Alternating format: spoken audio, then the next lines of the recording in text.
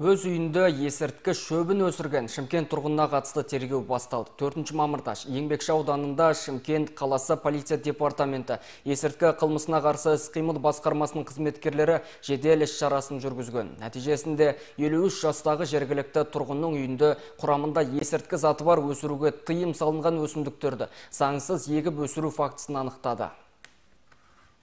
Үй ауласын тінту барысында есірткі құрамдас өсімдіктерді өсіретін құмыралар табылды. Сараптама нәтижесі бойынша алынған өсімдіктер есірткі заттарына жататындығы расталды. Аталған факті сотқа дейінгі тергеп тексерудің бірыңғай тізіміне енгізілді. Қазақстан Республикасы қылмыстық кодексінің 300 бабының бірінші бөлігімен сотқа дейінгі тергеп тексеру басталды.